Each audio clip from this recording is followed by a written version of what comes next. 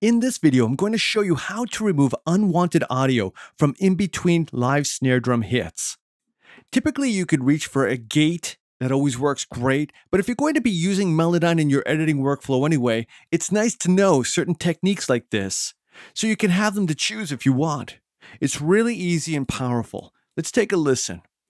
I'm going to choose my snare drum track here, and you see it populates itself in the editing window. Now, you can see that there are separators between every distinct sound and beat here. Let's take a listen to this.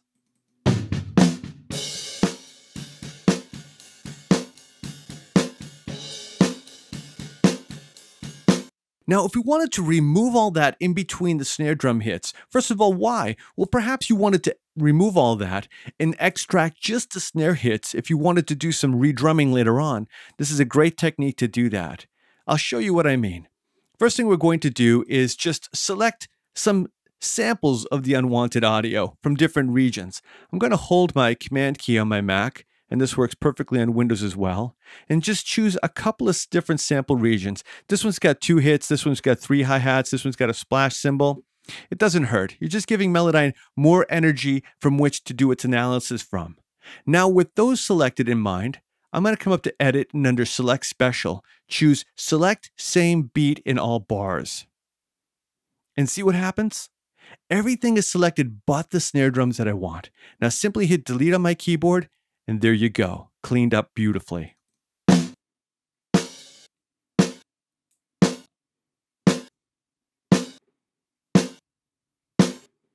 And as you can see, it selected them all down the line. Next, here's an alternate method that also works great. It's really easy. You do the same process. Select a couple of snare drum hits, and this will give Melodyne some information to look for similar sounding hits throughout the entire take. Again, come up to Edit, select Special, and choose the same option. Select Same Beats in all bars. Next, go back to Edit and under Select Special, choose Invert Note Selection.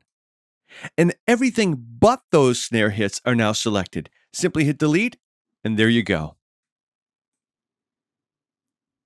Cleaned up beautifully. Now, as I said before, this is wonderful if you want to export this as MIDI. You can come up to File, and here under Export, now we can choose it as a tempo map or just a straight MIDI file. It always does help to save you work as you're going along. Let me reiterate that. It's important and it's really easy. File, Save, or Save As. You can see I have this titled Untitled right now because of the demonstration. But before you do anything like this, Melodyne never destroys the original copy of your audio. So you can save different stages of your Melodyne editing work as you go along. And again, this is really handy for when you want to do some redrumming. Now let me undo my selections and let me show you a little handy tip. If Melodyne's not giving you all the separations you're looking for, you can go in there and choose the note separation tool and create them yourself. You can put a separation anywhere you want, just like that. And by double clicking any separation, you can, you can remove them also. Another handy way to do that is to come up to the wrench icon here select it, and this is kind of like a global detection. Under the separation tool here from the drop down, you see we got the type tool and the starting points. We have the slider. Watch as I increase it. It'll start detecting potential new separations points. And as I increase it globally, it's dividing it up more and more and more. Now, this is important if you want to just select, see if you can select something right about there. Let's see, right about there. And now it looks just about right. And to commit these separations, choose the orange icon here and go back to edit mode. So these are some really handy, easy to use techniques for you to utilize Melodyne more than you may have been typically doing. Again, drum editing is drum editing is something that everybody does.